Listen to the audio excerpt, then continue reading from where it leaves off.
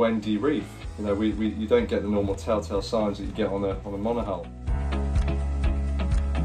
Everyone wants it to be very, very clear what you should do and when you should do it, but having, you know, real world um, indicators uh, to, to, you know, show that um, on the screen is really, really useful and, you know, I think it's certainly going to be a big part of the future.